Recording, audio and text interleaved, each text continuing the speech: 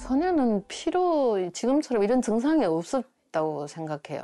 지금은 이제 증상이 있는데 좀 제가 저 혼자 그냥 판단하에도 증상이 아니다. 이거는 어떻게 사람 이렇게 수시로 졸리지? 또 졸리면 이렇게 막 못 참을 정도로 바로 이제 자야 돼요. 막 그 정도 뭔가 이상한 것 같다 이렇게 생각하고 있어요.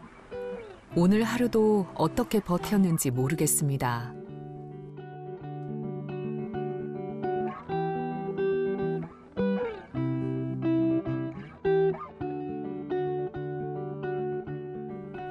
일단 누워서 쉬어야 합니다.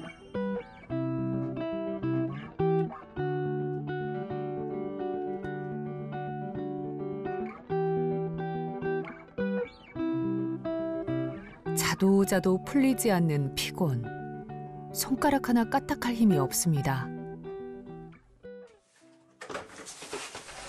효선 씨는 남편이 퇴근했지만 아는지 모르는지 어느새 꿈나랍니다.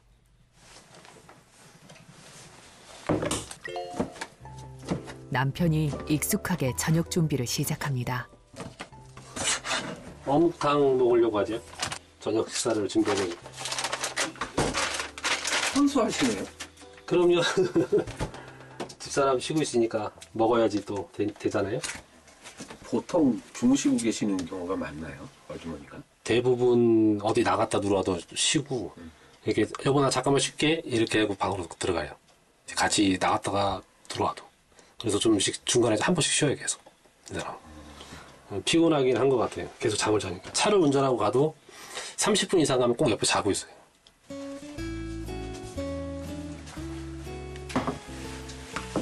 여보, 밥 먹자.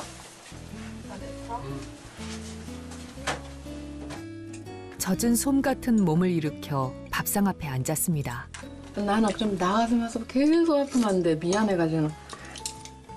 아, 다들 이러고 있는데 나만 막 눈물 줄줄 아픔을 하는 거야. 군사사님이 회사 나오면 잠자러 나오냐고. 회사가 뭐 자는 데예요? 숙소예요? 자러 왔어요? 맨날 그런 소리. 해가 갈수록 더 심해지는 효선 씨의 피곤. 오늘 설거지도 남편 몫입니다. 남편은 이나마의 일상조차 무너질까 걱정입니다. 특히 효선 씨의 계속되는 이유 없는 두통이 걱정스럽습니다. 통은 좀 오래된 것 같아요. 정인이 애 낳고 나서인가 그때부터 계속 있었던 것 같아요. 그래요. 꽤 됐어요. 좀. 옛날 병원 간 것도 있었어요. 서울대병원에. 그 검사 결과 어떻게 나왔나요? 그 이상하게 안 나오더라고요. 아무 이상 없다고. 병원에서는 이상이 없다지만 머리가 아프기 시작하면 잠도 잘 수 없습니다.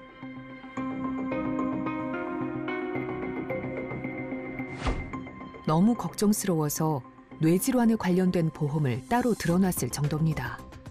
이게 나이는 한해 한 해 진짜 더 먹어가는데 50대 넘으니까 건강도 이제 뭐 진짜 어디 뭐 자동차 부품처럼 하나하나 막 고장나듯이 아이고, 아이고. 예. 그래서 아, 더 스트레스 받는 것 같아요. 더 하고 싶은데 열심히 뭐 할 게 많은데 해야 되는데 이런 생각만 자꾸 몸을 안 따르고